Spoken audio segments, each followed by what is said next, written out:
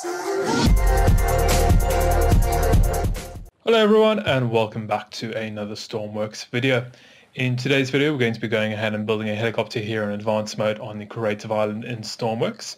We'll go through all the components used. Along with that, we're going to build step by step, show you how to get everything connected, what, what every component does, how to get it all wired up, and hopefully by the end we should have a complete flying helicopter, of which then you can go ahead and then use those skills learned in today's episode to go ahead and build your own helicopter and then customize it to how you want. As always, everything we do in the video is the sole purpose of the tutorial.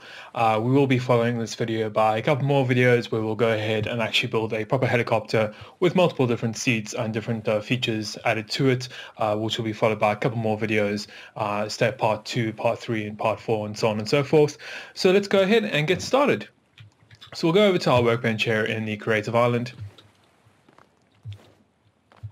Now we'll go ahead and start straight off by putting down a base for our helicopter. So this is going to be the fuselage itself. So I've just got a little line going across to how long I want it. We're going then going to go ahead and enable our X-plane. Once we've done that, we're going to build it out by two blocks on either side. Fill that in. And then we're going to go ahead and actually just build the feet for the helicopter. So we'll go ahead by placing two of the wedge blocks down.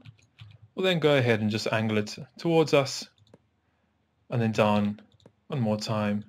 And then what we'll do is we'll go ahead and then build the legs for the helicopter itself. Just going back, connecting this all up.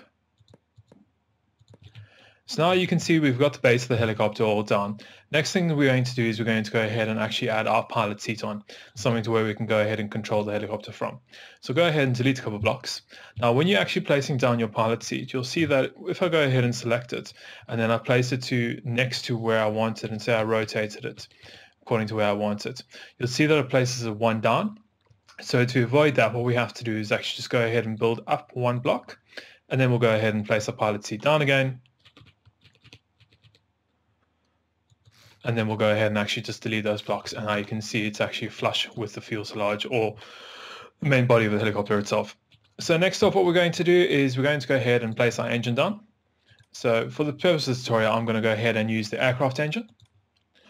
We're going to go ahead and actually put the most the majority of the inputs coming towards the pilot. So as you can see there, we have our coolant in, coolant out, our two exhausts, and then also our fuel intake. And at the rear, we have the air intake, and then also our propeller shaft, or our engine drive, whatever we want to call it. Next up, what we're going to do is we're going to be building the supports uh, for the main rotor shaft, and then also for the tail rotor. So we'll go ahead and we'll just start just over here and just build this straight up. Now, as I said earlier, it's not going to be pretty at all. Um, however, it's just going to be the basics of what you need to go ahead and actually build your own helicopter. You can then obviously go ahead and design it to however you want. Uh, this is just covering everything that you need uh, in terms of components for the basics and just give you an idea on how to get everything set up. So now that we've got our two supports done uh, for the main rotor and then also for the tail rotor, we're going to go ahead and place those down. So first off, we're going to go ahead and use the large rotor just over here place it right at the top of the helicopter. And then next we're going to go ahead and just place our tail rotor just at the rear of the helicopter. And there we go. Once again, we'll just have to disable that quickly so we don't place it on either side. And you can see here that the inputs for these is going to be underneath for the tail rotor, and then for the main rotor, it's going to be just in the front. So now that we've got that all placed down. We've got our engine, we've got our pilot seat, we've got the rotors itself. A couple other things that we need, obviously, because we're in advanced mode, we're going to be using a fuel tank. So we'll go ahead and actually just get a large fuel tank here. Now, for the the tutorial, I'm just going to go ahead and place it wherever, uh, wherever I find space. So we'll go ahead and just place smack bang right over there.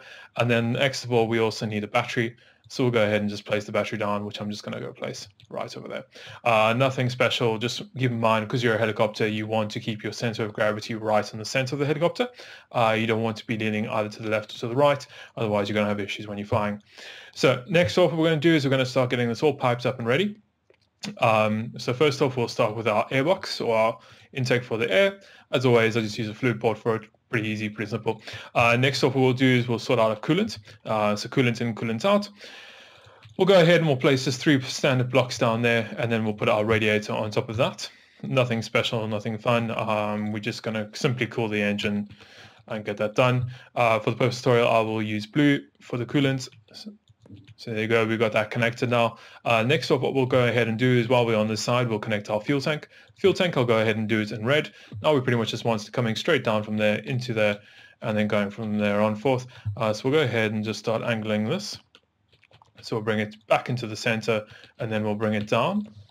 Once we've brought it down, we'll just start piping it right towards the engine itself.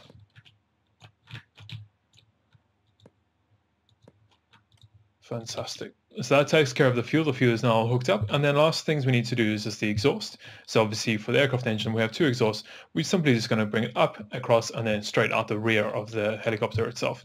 So we'll go ahead and just change dark gray for this tutorial. We'll also enable the X-plane so we build on either side. Aircraft engine has two exhausts.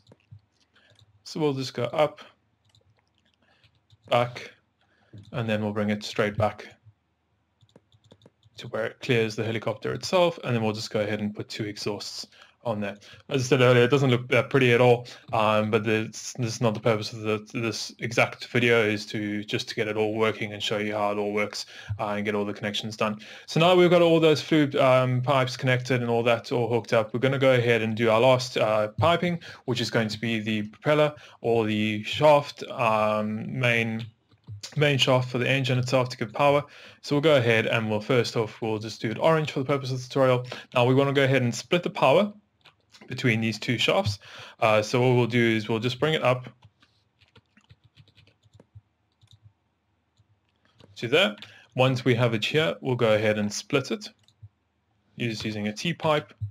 And then we'll go ahead and bring it straight back to here, where we'll then go ahead and just angle it directly into there. Fantastic. Now for here, to get that connected to our main main um, rotor shaft is going to be to delete that. We're going to go ahead and just use a enclosed pipe. Enclosed pipe just over there. We're going to go ahead and disable our X-plane again. Go ahead and grab our piping again. We want orange for this tutorial. So we'll go ahead and just start piping this up and we're just going to bring it so it clears all of this. Cross, straight across to there. Now obviously that's not connected, we have to bring it around. So we're just going to go ahead, angle it around.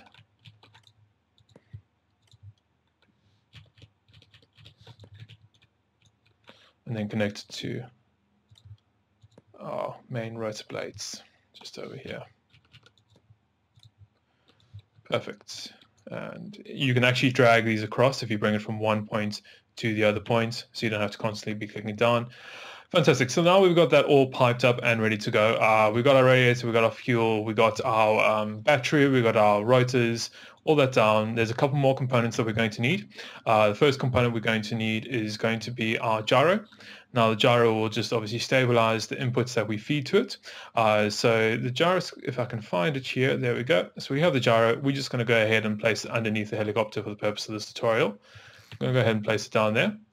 Now I'll talk a little bit more about that when we start wiring everything up.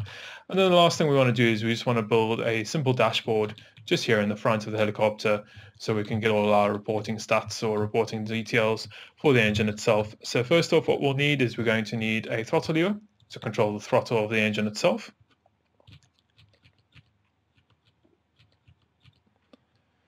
Once we've got that, we'll also need a simple push button to start the engine itself. Just going to place a plain block underneath that just to make it somewhat pretty. Uh, and then we'll go ahead and we'll just put a couple dials down. Now, as always, because we're in advanced mode, uh, you'll have one dial, if I can figure out which way it goes, one dial for the fuel, one, day for, one dial for the temperature, another one for the battery, another one for the rotations, and that's pretty much about it. Um, I can't think of any other ones we need. We've got fuel, we've got battery, we've got rotations, we've got temperature.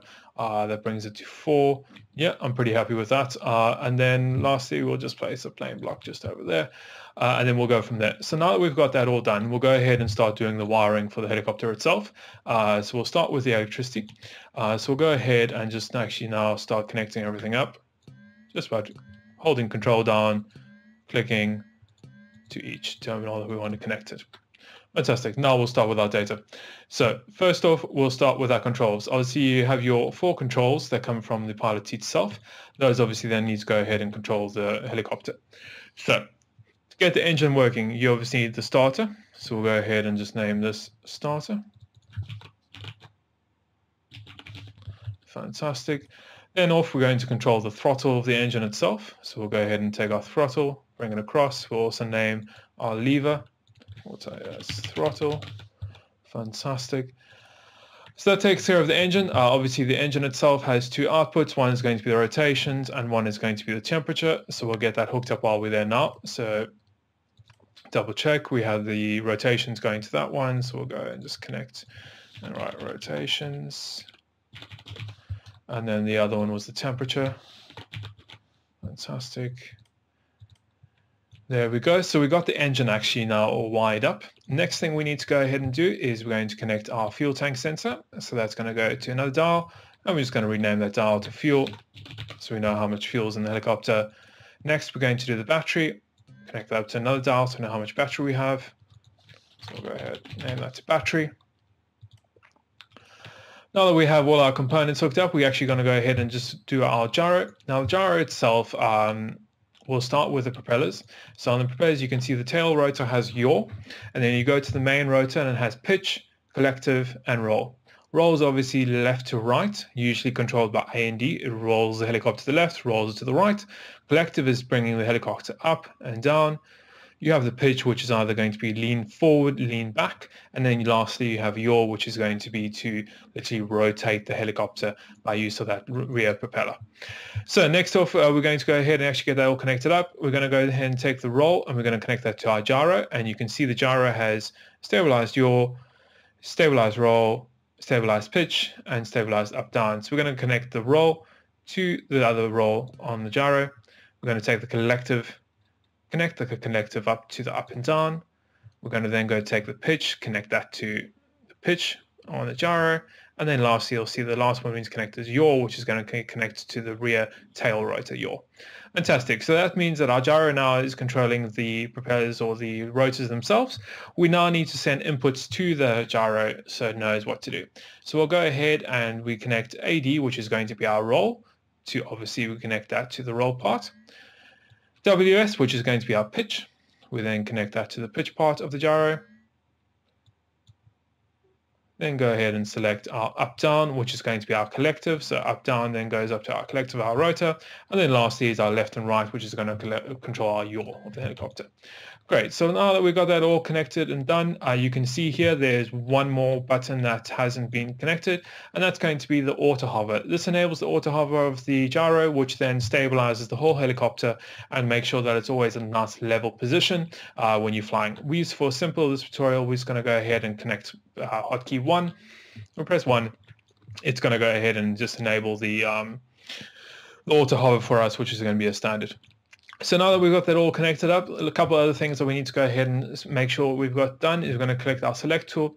We're just going to go through all our different things that we need to make sure is done. We're going to collect on our tail rotor. As you can see here, you can change the number of blades that you want. We're just going to leave it as stock 4. And you'll see that all the rotors have a neutral and positive. This means that when you give it, if you leave it on positive and you give it a throttle value, it's physically going to move that rotor in, in either an up and down or left and right fashion, depending, depending on what type of rotor it is and what input you're giving it, but it's always going to have a positive value. It's never going to be in neutral. As if we were switched to neutral, the only time it's actually going to move forward is if we give it a signal. If we don't give it a signal, it's not going to give any power to that rotor. So in theory, think of it as this is a built-in clutch in the rotor itself, um, whereas if you're not giving any number, it's not going to move at all until you go ahead and actually give it a number input. So we want to go ahead and select that to neutral. Same goes with the engine, uh, sorry, for the main rotor itself move that to neutral because we're actually controlling that by gyro. We aren't controlling it by throttle. The throttle is only controlling the power of the engine. We're not controlling that with our throttle. We're controlling that by using our gyroscope and then our obviously our collective up and down. So now that we've got that all done, just make sure we have diesel. Yep, that's all good and working. So we're going to go ahead and spawn this in and see if it works. You can see here we actually gone and spawned that in now and we'll just go ahead and jump into our seat. Now, first things first is we'll go ahead and just check our dials. Temperature's fine. Rotation is nothing because the engine's off. fuel's good, and then we have battery, of course. Now, obviously, in advanced mode, to start any engine, you need to give a little bit of throttle. So we'll go ahead and just give this engine a little bit of throttle. Hold down the starter motor, and then you can see here we now have everything running. Engine seems fine. If you want to go and check to see if the engine's working, you can go and actually just check, see fuel, air exhaust, electric and coolant, all good working, everything's doing. And because we have it in neutral, you can see now, because we haven't given it any number inputs for these yet, nothing is moving and lifting off and taking off. Now what we'll go ahead and do is now that we've got everything on and running, we can actually now go ahead and control the helicopter by use of our up, down, left, right, W, S, and A and D. So if I go ahead and give it an up value, you can see the helicopter is now going to start going up. And then if I give it a pitch value forward, it's going to start flying forward. Now you can see this is moving around a little bit because we haven't got our auto hover enabled. Now you'll see if I go ahead and just rotate that a bit and I'll enable my auto hover, you can see it straight away stabilizes the whole helicopter and makes it much easier to fly. And then you go and you can see. So everything seems to be working all nice. Um, we can go ahead and fly this around as I said earlier, it's not the most pretty helicopter or the fastest or anything like that, but it's a full, fully working helicopter, um, only using a few components that you need, and it gives you all the information and gives you the tools necessary to go ahead and actually go and build your own helicopter uh, in the game in advanced mode. So with that said and done, uh, I think I'm going to go ahead and end the video there. Um, I hope you've enjoyed it as always and found it somewhat informative. Uh, as I said earlier, we are going to be doing a couple more videos um, regarding the helicopter itself in advanced mode and we're going to go ahead and actually build a full helicopter, um, something a little bit more prettier than this with using a little bit more time and skills and that will be spread over a couple more videos. Uh, anyway, Thank you for watching and don't forget to hit that like button, subscribe button and follow me on Twitter for any updates and we'll see you in the next one.